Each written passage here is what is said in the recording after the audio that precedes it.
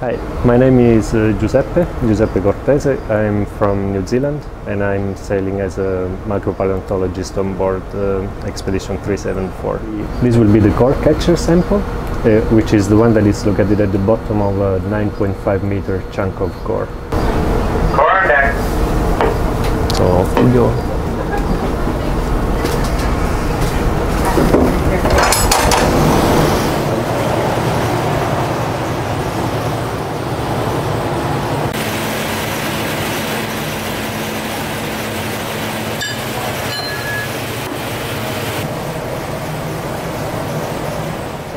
Now we bring it back to the left.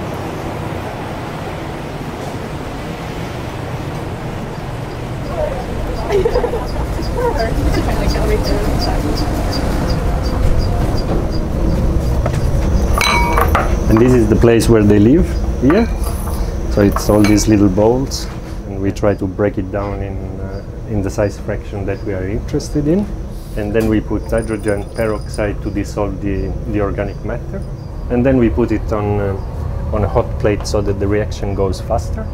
It's like little sand in there and that's the one that I want to actually get. And then I sieve it. I sieve it too in this case since my microfossils are larger than 63 microns I use this.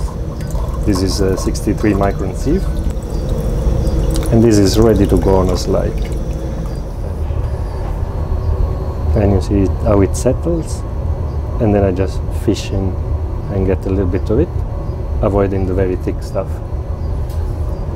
and then eventually I spread it over over the slides, over the cover slips, like that. And you can sort of see that there are some particles inside. And then we put it inside the tray to, to harden with uh, UV, with ultraviolet light. These lights are ready to be observed at the microscope. And then I can go and have a look at the microscope and see what's in them.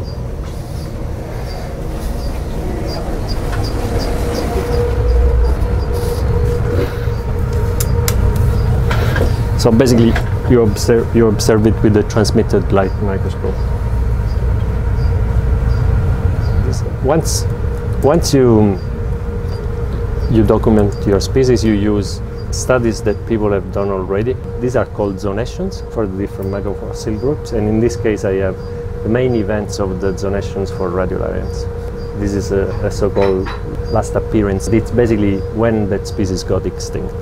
And, and I have different species which have been recognized as actually appearing or disappearing at a specific level in time, and then people have calibrated that moment with, with paleomagnetism. So this is existing only in the time older than 2.4, and this is existing only in the time younger than 2.6. So you sort of do a fork in a way, and you can tell that that sample is somewhere between 2.4 and 2.6 million years.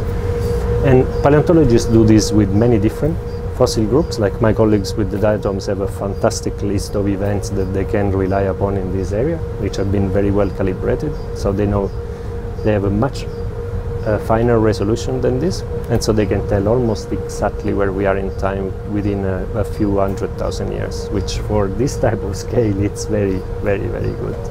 And you integrate all these together, and in that way you basically date the sediment, you date each and every sample that we recover from the core catcher, so we always know where we are in time as we are drilling. So this whole process for some fossil groups like diatoms takes maybe 15 minutes. So within 15 minutes, 10-15 minutes of the core coming on deck, these guys can tell us exactly where we are.